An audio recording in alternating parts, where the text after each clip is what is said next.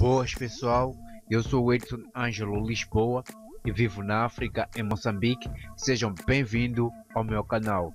E como viram pelo título do vídeo pessoal, hoje hei de falar dos 5 motivos para poder viver em Moçambique, na África. E se você já se interessou pelo tema, deixe aqui embaixo, inscreva-se, deixe o seu like e ative o sino das notificações para não perder nenhum dos meus vídeos, demorou? Minhas redes sociais estarão aqui na descrição. Para quem não me segue lá no Instagram, me segue lá e dá uma forçada aí, manda um DM se quiser teclar comigo ou falar comigo e enfim, é isso aí pessoal. E sem mais enrolações, bora aqui diretamente a este lindo e maravilhoso conteúdo pessoal.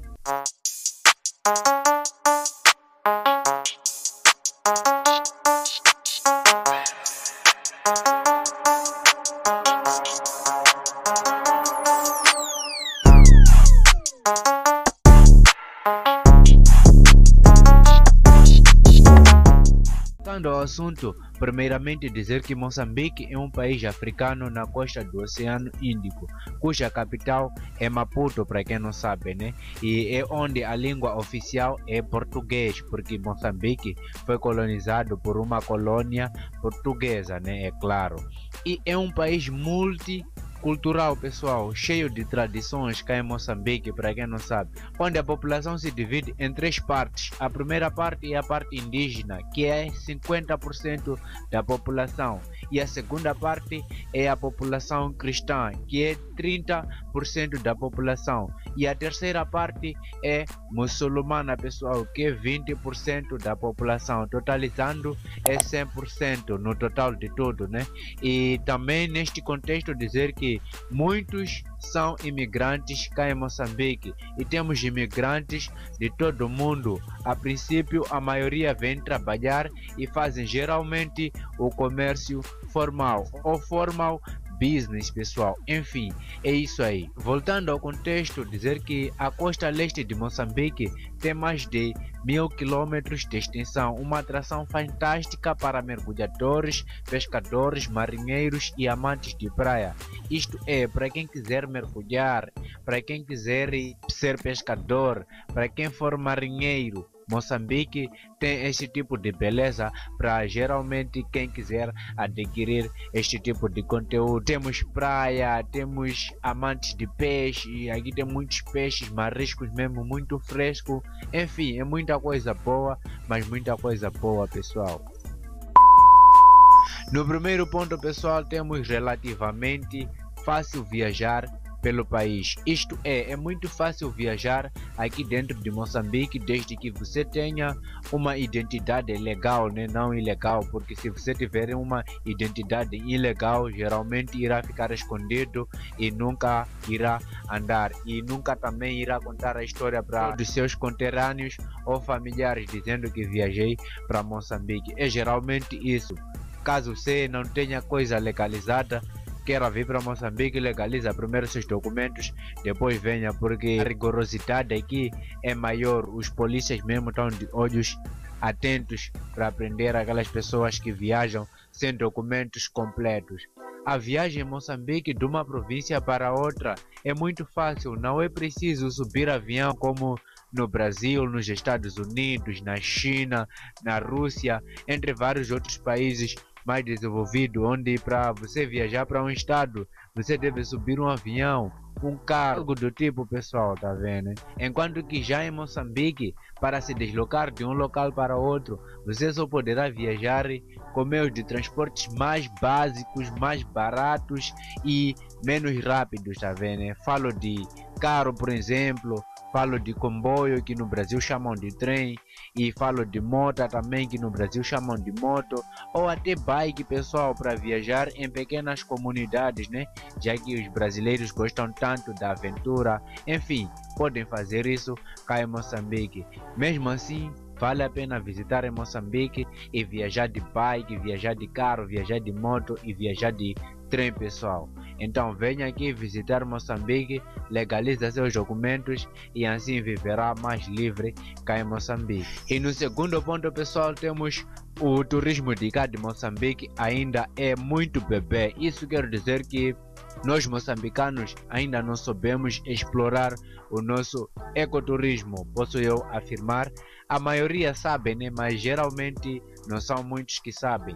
A maioria que exploram ecoturismo cá em Moçambique são mesmo estrangeiros e não moçambicanos, pessoal. E dizer que nos dias de hoje é cada vez mais difícil encontrar algo realmente tipo off the beat track, onde não haja um Stark Bank em cada esquina e um exército de turistas disputando por um local para que possam visitar, né?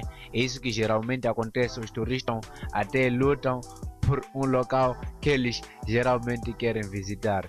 Dizer que Moçambique é uma joia rara neste sentido, uma volta no tempo, é exatamente um território fértil para viajante com espírito de aventura, para quem quiser aventurar, para quem quiser vir visitar Moçambique, é muito bom. Temos várias praias cá em Moçambique, temos rochas também, temos montanhas, temos rios, temos muita coisa bela que vocês podem vir tirar foto, fazer algo do tipo. Só não poderão tirar foto pessoas, porque isso é geralmente proibido, pessoal. E o terceiro ponto, pessoal, é a variedade de cultura. É muito impressionante, pessoal, muito impressionante mesmo. Cerca de 20% da população de Moçambique é muçulmana. Outra boa parte é de descendentes portugueses, né? Posso eu afirmar. O país foi colonizado por Portugal até no ano de 1975, pessoal. Dizer que passamos por uma colônia portuguesa, assim como o Brasil, assim como Angola e como vários outros países lusófonos, pessoal. Dizer também que há indianos, meia centenas de grupos étnicos aqui em Moçambique, que a propósito falam as suas línguas e têm os seus próprios costumes vivendo cá em Moçambique. Estou a falar de indianos, nigerianos, tanzanianos, somalianos, brasileiros, portugueses. Eles vivem aquela cultura de Portugal, não perdem aquela cultura. Não é proibido, a lei não proíbe nada. Você vive da maneira que você consegue viver. E voltando ao contexto, é por essas e outras causas. É normal que um moçambicano se vire em mais de sete idiomas. Nós moçambicanos temos a probabilidade de falar mais de sete idiomas, pessoal. Então vale a pena visitar Moçambique, você poderá aprender vários idiomas com os moçambicanos e geralmente isso contextualizando, né? Os que recebem mais educação pessoal acabam tendo uma facilidade absurda em aprender a falar vários outros idiomas. Não sei se vocês também brasileiros têm uma facilidade absurda de aprender a falar certos idiomas como inglês, como francês, como ita, uta, aquela língua da Itália e várias outras línguas. Tudo isso torna a tua viagem mais fácil quando você vier para cá para Moçambique. Você chega onde eu tô, hello Edson, how are you? Eu digo, I'm fine, and you? I'm fine, thank you. Edson, I'm go to beach. Edson, vamos pra praia, sabes como que é, né? Tô falando por um inglês mais barato, porque eu não sei falar inglês, tá ligado? Mas é isso aí, bora para o quarto ponto, pessoal. Quarto ponto, pessoal, temos pessoas. Por que que no quarto ponto temos pessoas? Dizer que o lugar pode ser lindo, sim. Moçambique pode ser lindo. Com paisagens de arrebentar o Instagram. Hum? Mas se o povo for desinteressado, cheio de, de mara ou antipatia, a viagem dá uma bela bronchada, pessoal. Conte com isso. É tipo, por exemplo, eu venho para o Brasil e chego lá, o povo não me recebe do, de boa forma. Com certeza que eu não irei voltar mais, mas eu tenho a certeza que o povo brasileiro não é tão ruim até essa parte. Eles são muito humildes e muito foda, tá ligado? Então é muito bom. Caso também você venha cá em Moçambique, nós não somos antipáticos, somos muito simpáticos e gostamos de conversar. Voltando ao assunto, em Moçambique as pessoas são doces e abertas, pessoal, mas sem aquela humildade como o dos brasileiros, que quando chegam no país já vão abraçando em qualquer pessoa e chamando de amigo. Nós moçambicanos somos mais recatados e nos aproximamos aos pouquinhos, tá vendo? É diferente com o brasileiro, o brasileiro se aproxima rapidamente do nada já começa a chamar de amigo e tal. Vejo isso, por exemplo, no meu Instagram. Eu converso com muita galera lá e eles me chamam de amigo, uma vez que nós nem nos conhecemos, nunca nos vimos. Enfim, é muita coisa bela que o brasileiro sabe fazer, mais que nós moçambicanos, tá ligado? Mas isso é muito bom e muito positivo, pessoal. Eu também gostaria de ter este tipo de comportamento, caso eu consiga ter, mas eu não sou tão acanhado assim ou recatado assim como os outros. Eu gosto muito mesmo de se socializar, tá ligado? Então é isso aí mesmo, pessoal. Bora aqui para o quinto e último ponto. O quinto e último ponto, pessoal, é o português, que é o idioma do paraíso. Dizer que em Moçambique tem mais de meia centena de línguas nativas e o português é frágil, pessoal. Porque quase a maioria das pessoas cá em Moçambique não falam português. Os porquês eu não sei, pessoal, mas a maioria não falam português. Inclusive, no bairro ou na zona em que eu vivo, tem muita galera que não são fluentemente bem português, mas eu talvez seja, quem sabe, eu não sei. Vou esperar de vossa opinião. Diga aqui no comentário quantos valores você me dá no meu português. E eu digo frágil por quê? Porque não é o primeiro idioma de grande maioria das pessoas, aquilo que eu dizia. Uma das parcelas considerável da população. O índice de analfabetismo de Moçambique é de 48%. Os 52% não são analfabetos, pessoal. Enfim, muita gente tem dificuldade ou não consegue se comunicar no idioma principal, que é o português. Então, muita gente tem dificuldade neste contexto e de se comunicar.